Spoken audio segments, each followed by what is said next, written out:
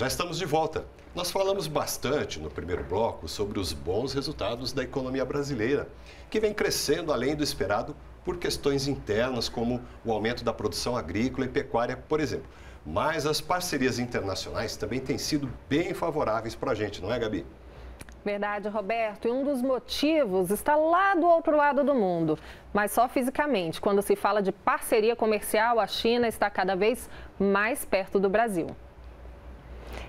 E no primeiro semestre deste ano, o Brasil exportou 45 bilhões de dólares para o nosso grande parceiro asiático, um recorde histórico na relação entre os dois países. E acham que parou por aí? Nada disso. Brasil e China estão trabalhando para aumentar a cooperação e aproximar ainda mais as duas economias.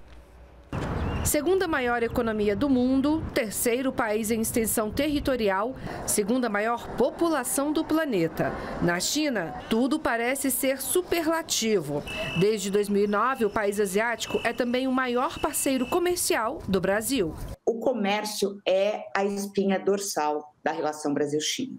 É, a China é o principal destino das exportações brasileiras desde 2009 e hoje, um terço das vendas do Brasil para o exterior tem a China como destino. Só para comparação, o segundo destino são os Estados Unidos e recebem cerca de 10% das nossas exportações. A China compra do Brasil muita soja, minério de ferro e óleos brutos de petróleo.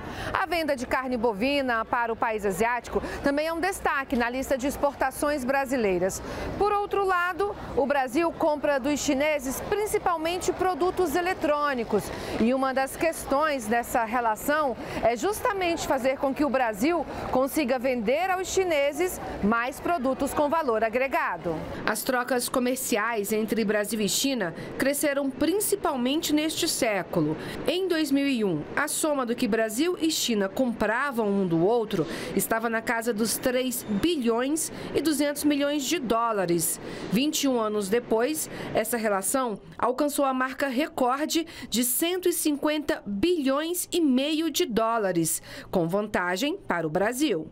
O Brasil é um dos poucos países do mundo que tem superávit com a China, e a China é, de longe, o país que mais contribui para o superávit comercial do Brasil. No primeiro semestre desse ano, por exemplo, o Brasil bateu um recorde de 45 bilhões de dólares de superávit comercial. Isso ajudou muito o Brasil a fortalecer suas contas externas, a aumentar as suas reservas internacionais. Na visita que fez à China em abril deste ano, o presidente Lula voltou a fortalecer os laços com o principal parceiro comercial e assinou 15 acordos de cooperação. Entre eles, o que estabelece um protocolo a ser seguido pelos frigoríficos brasileiros para a exportação de carne para a China e o acordo para usar a certificação digital no trâmite de produtos entre Brasil e China, tornando esse comércio mais rápido e confiável. Além dos acordos governamentais, empresários brasileiros fecharam 32 negociações com os chineses, somando 50 bilhões de dólares. Na declaração que fez na China em abril, o ministro da Fazenda falou da intenção de ter capital chinês na reindustrialização do Brasil.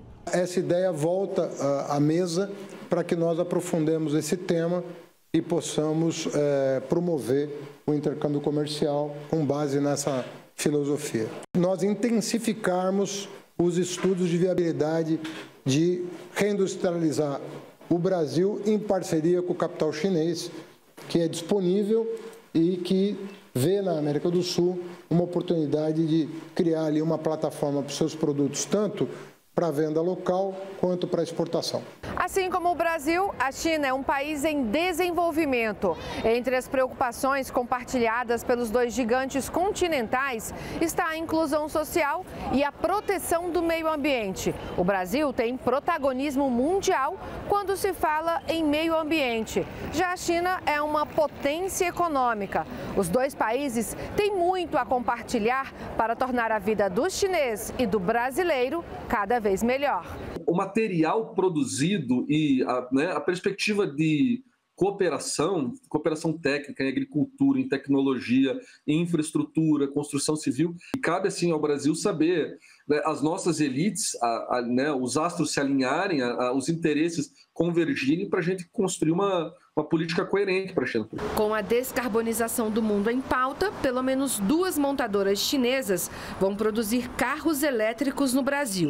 E o caminho é promissor para as possibilidades de negócios com selo sustentável entre os dois países. É uma oportunidade do Brasil atrair investimentos chineses para essas áreas ligadas ao processo de descarbonização e, com isso, integrar o Brasil a essas cadeias produtivas globais, que vão ter um peso cada vez maior é, para a economia e para o futuro né, dos países.